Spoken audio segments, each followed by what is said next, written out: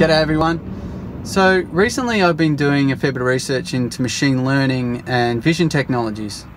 And you might have seen my last video where I was able to use Neurala's Brain Builder app to quickly teach a model the difference between a tidy and untidy switchboard.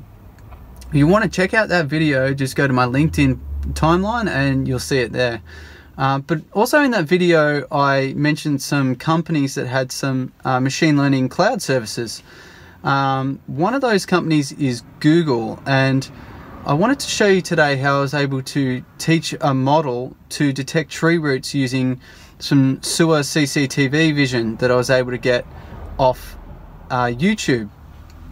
So this is uh, typical within our industry where you would see uh, long lengths of CCTV vision, and the operator would have to go and, and uh, detect what's inside the pipe, like a blockage of tree roots, uh, manually. Whereas something like this technology, you could batch upload videos um, and then it will tell you what part of the video the tree roots are in or blockages. So you might be saying, I think I've seen this before, and it's probably because you have. And only recently, after I, I taught this model, somebody said, "Oh, City West Water have already done this." Um, so they've done some really cool work and, and done some bounding boxes and around tree roots and blockages. So I would suggest checking it out, uh, going to their LinkedIn timeline, um, and it was about 12 months ago. So but this is just an exercise in how you might be able to use this technology in your business for different things. So um, without further ado, let's go to the computer. Okay, so here we are in Google Cloud Platform um, where we're in the video intelligence section. And when you first get to this tab, you'll be presented with the dashboard and it's going to ask you whether you want to go with the classification model or your object tracking model. Now, I'm just doing a really simple uh, use case. So I've been using the classification model, which is just going to detect labels within a certain timeline of the video. But if you wanted to do something different, like uh, what City West Water were doing with bounding boxes and object tracking, you would use the object tracking um, machine learning model. So uh, let's just go get started. Now I've already set up a data set um, for this, uh, so you would obviously create a new one. and when, when you first get started, it's going to want you to import a CSV file um, and where you're going to get your training data and test data from is videos that you've uploaded into Google's cloud storage. So um, there's plenty of documentation on how to do that. So I'll just move forward um, with the videos that I've uploaded. So now you can see these, um, what I've done is actually split it into two separate labels um, just to make it really simple. So I've set up some training data on a clean pipe and some tree roots. So as you can see there's some tree roots here. Um, this one's a clean pipe, uh, clean pipe, clean pipe.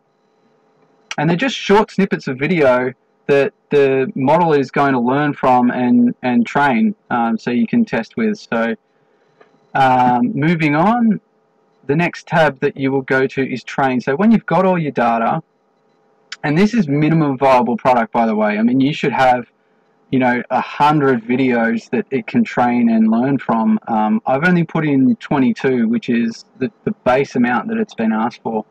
Um, so once you've got all your data, um, you go to the train tab and it's going to check out, you can check out the full evaluation of what your data looks like. Um,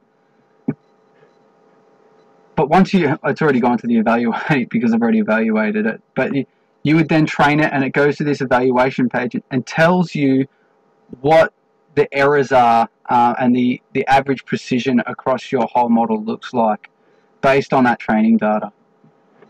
And you can see here that it's it's super. I've I've really drilled down on the videos uh, and the sections and labels that I wanted. So it's pretty it's pretty happy with the data that it's got. So then you would use the um, move on to the test and use tab. And I've already uploaded a video. This is where you would upload a video that you would wouldn't rather have taught the the model. So something it hasn't seen before, um, so that you can test and see whether it works. So if we go to view, you can also batch upload these as well. If you had 10, 20 videos, you could submit all these and go through them. So here's a video that I knew had some really long sections of clean pipe and then in the middle had some tree roots. So